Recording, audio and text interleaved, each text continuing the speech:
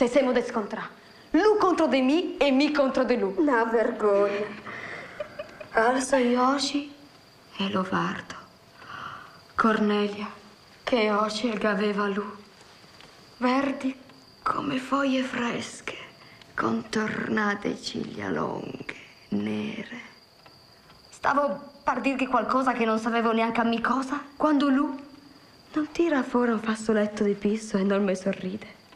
Pian, e se mette lui a pulirmi me con una delicatezza, Cornelia, che mai avrei pensato. Gentile però, e tu? Su scapà, de corsa, defilata fino alla locanda senza mai voltarmi. E allora quando? Veda, dunque, non che pensavo più, ma il giorno dopo, destino. Apro una camera per portare lenzuoli nuovi per fare a letto e non me lo trovo lì, sul letto. Sono restate stuco, mi cascai lenzuoli e con un inchino che diso... El me scusa, signor, el me scusa. E lui? Si accomodi pure. Mi pare davvero una fortuna di incontrarla di nuovo. Se volesse essere così gentile da dirmi il suo nome. Lucia Lustrissimo, godito par servirla. Come Lucia? Mi pareva più finta, Rosa, Rosina, Rosetta, come mi chiamano tutti. Punto mettere Lucia lei più finta. Va bene, allora? E lui si alza dal letto con la vestaglia stretta e longa.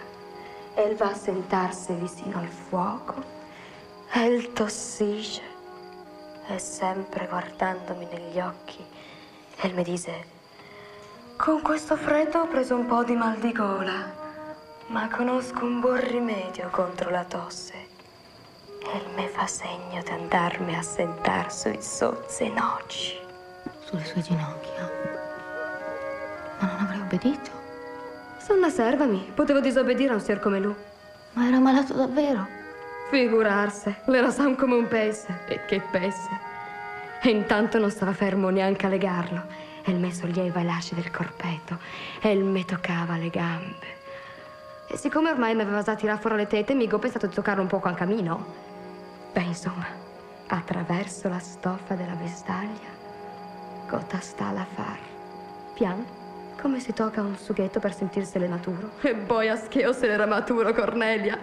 Ma proprio mentre serimo drio a basarsi, ciucciarsi la lingua, toccarsi come mati, non m'ha ferma la man dicendomi no, ti aspetterò stanotte se vorrai portarmi un po' di miele per la mia tosse.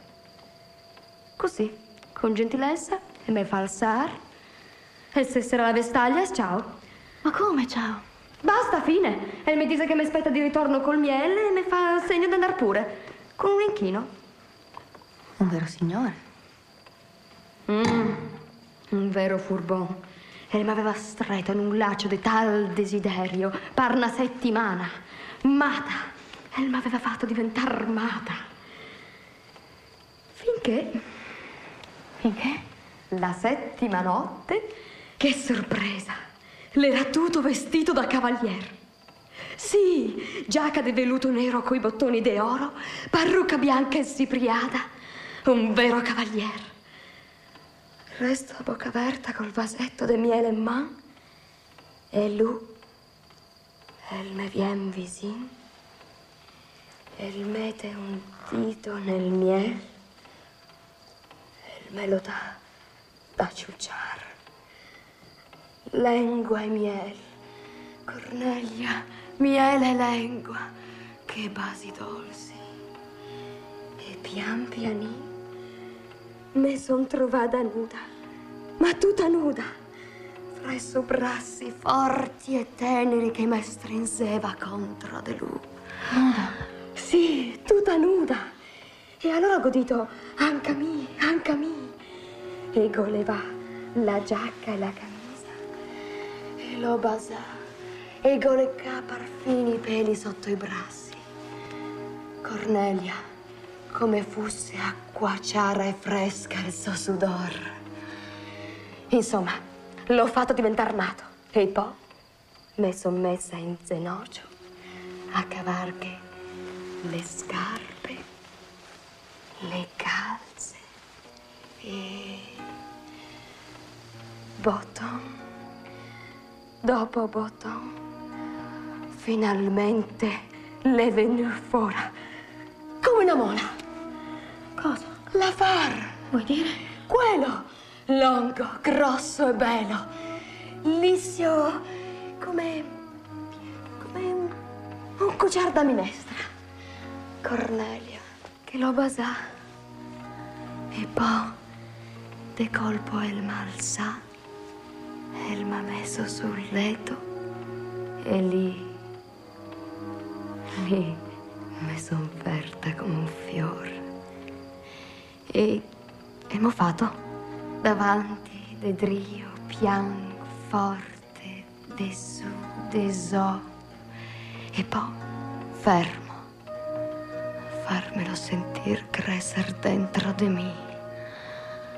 E ancora, ancora, finché, Finché? finché sono morta viva di piacere. E poi un'onda calda che m'ha coperta tutta. E go tremà, e go tremà.